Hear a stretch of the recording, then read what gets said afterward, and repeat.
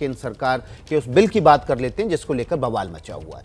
केंद्र सरकार लोकसभा में एनसीटी संशोधन एक्ट लेकर आई है। अगर वो कानून की शक्ल लेता है तो केजरीवाल सरकार पैदल हो जाएगी। पैदल हो जाएगी मतलब उसके अधिकार कम हो जाएँगे। और ये नौबत ना आए, इसलिए अब आम आदमी पार्टी ने सड़क पर उतरने का ऐलान कर दिया है।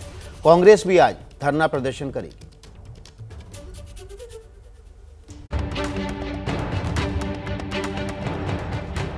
भारतीय जनता पार्टी लोकतंत्र में बुनियादी तौर पर विश्वास नहीं रखती है।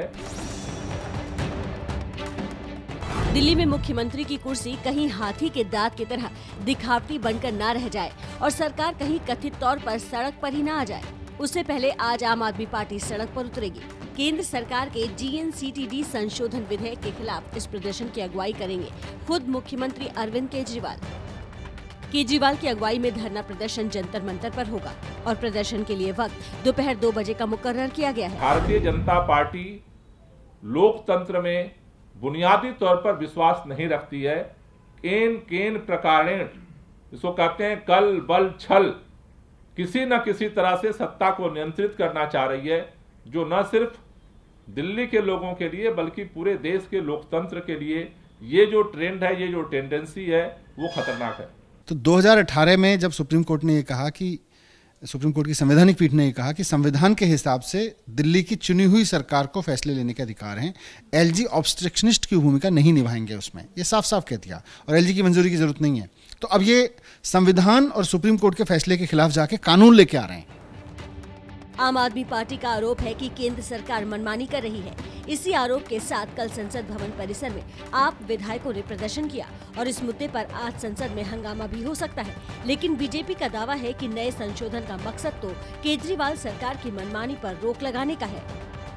कई हज़ारों करोड़ रुपया वो गुजरात में जाते हैं कैंपेन करने के लिए तो वहाँ पे दिल्ली सरकार का विज्ञापन देते हैं। पंजाब सरकार में पिछले पंजाब में लगातार पिछले एक साल से विज्ञापन दिया जा रहा है, जबकि अभी वहाँ पे पंजाब में कुछ है नहीं। एक साल बाद चुनाव, उसकी तैयारी आज दिल्ली के जनता के टैक्स के पैसे से कर रहे हैं। लड़ाई जितनी सियासी है कानूनी तौर पर उतनी ही पेचीदा भी है।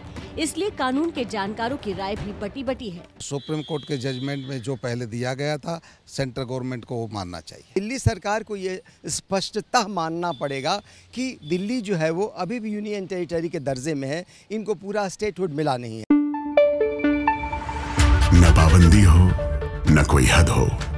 हो तो बस खुद बनाई सरहद हो।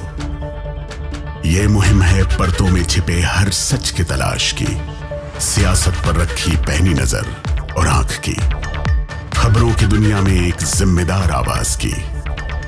जुर्म और जुल्म के खिलाफ हर बेबस के लिए इंसाफ की। जब कोई हद नहीं इंसानियत के लिए जज्बात की, जब कोई हद नहीं खुशियों और ख्वाब की, तब कोई हद क्यों हो नए नज़रिए और बदलाव की? तोड़ के हदों के ताले, नए सपनों को पाले। बांधे सबको एक धागे। आपको रखे आगे एबीपी न्यूज़